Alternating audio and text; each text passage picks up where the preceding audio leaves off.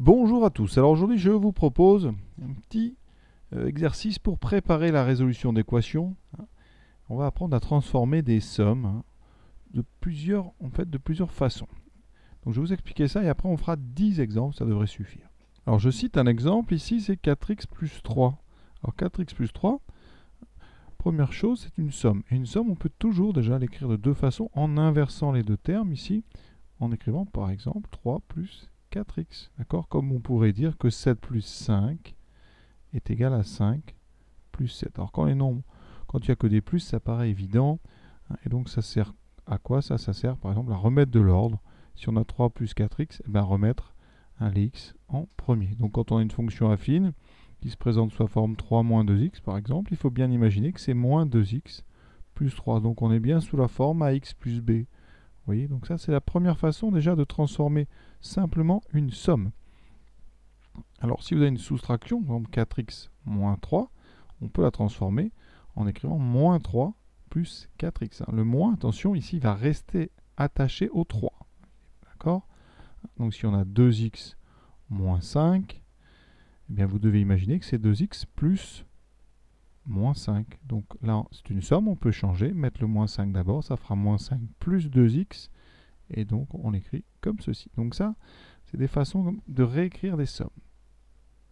Deuxième façon d'écrire 4x plus 3 après 3 plus 4x, ça serait eh bien, de factoriser par moins 1. Alors ça donnerait moins, moins 4x moins 3. C'est pas très pratique dans ce sens-là, c'est plutôt utile hein, quand on a par exemple moins 7x moins 3. On va factoriser par moins. Et dans les parenthèses, on aura 7x plus 3. C'est beaucoup plus utile dans ce sens-là que dans l'autre sens. On, on, fait plutôt disparaître des moins qu'en ajouter d'autres. Donc, dans la plupart des cas, donc c'est 3x moins 2. Si vous mettez un moins devant, ici, vous aurez moins. Donc ici, vous aurez plus 3x, vous aurez moins moins 3x, et ici, plus 2. D'accord? Ça c'est compliqué, donc il faut s'habituer un petit peu. Vous voyez qu'en redéveloppant, moins fois moins, ça donnera bien le plus qu'on a là.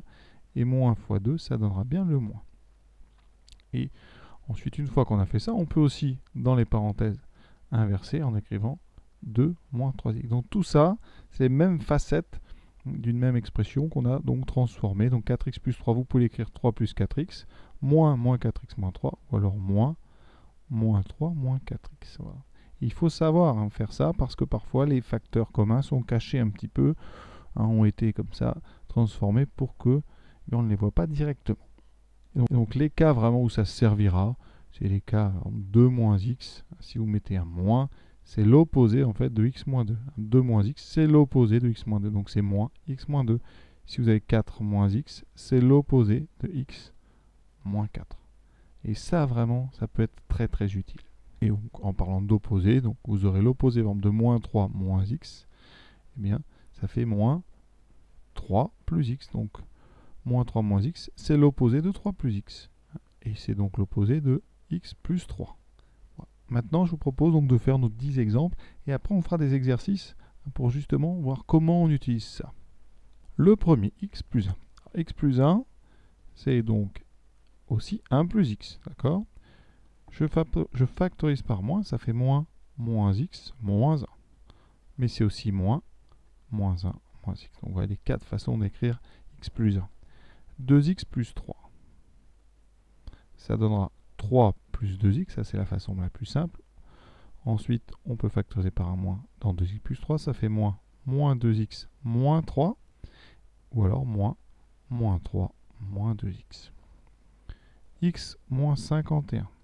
Alors ici, inverser les deux termes, c'est pas très intéressant. Ça fait moins 51 plus x.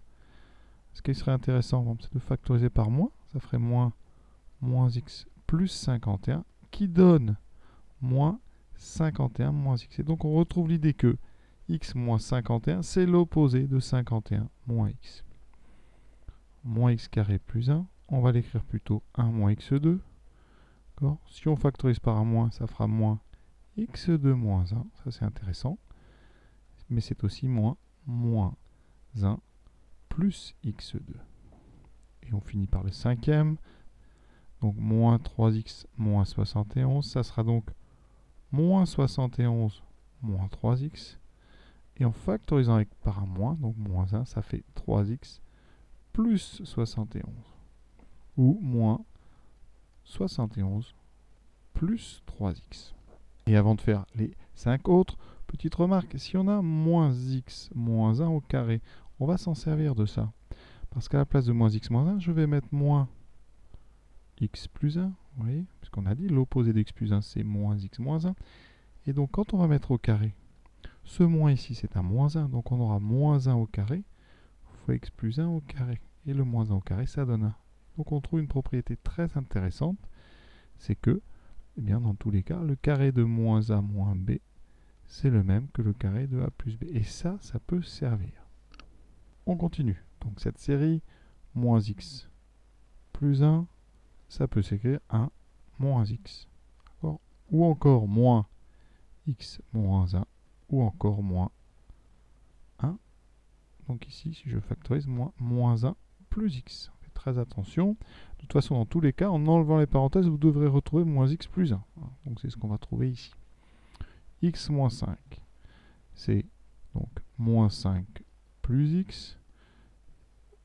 On sait que c'est l'opposé de x, donc de 5 moins x, pardon. Mais c'est aussi moins, moins x plus 5. Alors dedans, il y en a qui ont plus d'intérêt que d'autres, hein, ça dépendra de l'exercice, mais ce qui est intéressant ici, par exemple, c'est que x moins 5, eh c'est l'opposé de 5 moins x. Voilà. Ça, ça peut être pratique. Moins 8, moins 2x.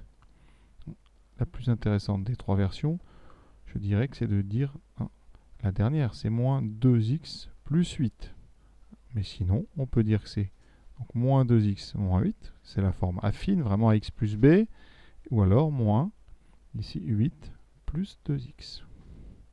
Neuvième, moins x2 moins 9. Alors quand il y a 2 moins, hein, c'est intéressant de factoriser par moins. fait moins x2 plus 9. Ou moins 9 plus x2.